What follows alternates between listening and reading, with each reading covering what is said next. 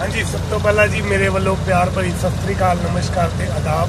ਤੇ ਤੁਸੀਂ ਦੇਖ ਰਹੇ ਹੋ ਮੇਰਾ ਚੈਨਲ ਡਰਾਈਵ ਟੈਕ ਆਰਜੀ ਤੇ ਅੱਜ ਅਸੀਂ ਫਿਰ ਇੱਕ ਨਵਾਂ ਵਲੌਗ ਲੈ ਕੇ ਹਾਜ਼ਰ ਹੋਏ ਹਾਂ। ਤੇ ਇਹ ਵਲੌਗ ਵਿੱਚ ਮੈਂ ਤੁਹਾਨੂੰ ਦਿਖਾਣਾ ਇਹ ਚਾਹ ਰਿਹਾ ਕਿ ਆਹ ਦੇਖੋ, ਚਲੋ ਬੋਲਣ ਦੀ ਲੋੜ ਨਹੀਂ ਹੈਗੀ, ਤੁਸੀਂ ਆਪੇ ਦੇਖੋ। ਆਹ ਗੱਡੀ ਦਾ ਮਤਲਬ ਮੋਡੀਫਾਈ ਕੀਤਾ ਹੋਇਆ ਵਾ। ਤੇ ਆਹ ਟਰਾਂਸਪੋਰਟ ਦੇ ਮਾਲਕ ਵੀ ਇੰਨੇ ਚੰਗੇ ਨੇ ਕਿ ਆਪਣੀਆਂ ਸਾਰੀਆਂ ਗੱਡੀਆਂ ਵਿੱਚ ਇਹਨਾਂ ਨੇ ਏਸੀ ਫਿਟਿੰਗ ਕਰਾ ਕੇ ਦਿੱਤੀ ਹੋਈ ਆ। ਤੇ ਆਹ ਦੇਖੋ, ਅਹ ਕਹਿੰਦੇ 50000 ਰੁਪਇਆ ਲੱਗਦਾ ਇਸ ਏਸੀ ਦੇ ਸਿਸਟਮ ਪਿੱਛੇ। ਤੇ ਇਹਨਾਂ ਦੀ ਮਾਲਕਾਂ ਨੇ ਆਪਣੀ ਹਰ ਗੱਡੀ ਵਿੱਚ ਏਸੀ ਲਵਾਇਆ ਹੋਇਆ ਵਾ। ਤੇ ਆ ਏਸੀ ਵਿੱਚ ਕੋਈ ਗੜਬੜੀ ਸੀਗੀ ਤੇ ਆ ਇਲੈਕਟ੍ਰੀਸ਼ੀਅਨ ਦੀ ਦੁਕਾਨ ਤੇ ਮੈਂ ਆਪਣੀ ਗੱਡੀ ਦੀ ਪ੍ਰੋਬਲਮ ਦਾ ਚੈੱਕ ਕਰਾਉਣ ਆਇਆ ਸੀਗਾ। ਤੇ ਇੱਥੇ ਇਸ ਗੱਡੀ ਦਾ ਕੰਮ ਹੋ ਰਿਹਾ ਵਾ।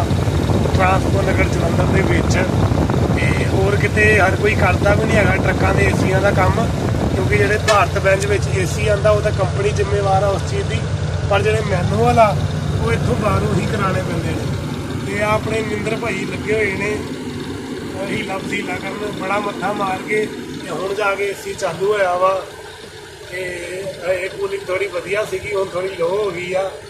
ਮੈਂ ਇਹ ਤਾਂ ਬੋਲ ਰਿਹਾ ਵਾਂ ਕਿ ਭਾਈ ਨੂੰ ਪਤਾ ਲੱਗੇ।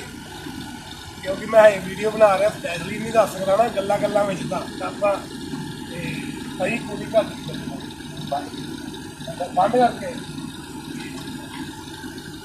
ਇਹ ਹੈ ਤੁਹਾਨੂੰ ਬਾਹਰੋਂ ਵੀ ਦਿਖਾਣੇ ਗੱਡੀ। ਠੀਕ ਆ ਜੀ। ਹੋਲਡ ਕਰੋ ਮਾੜਾ ਜਿਹਾ।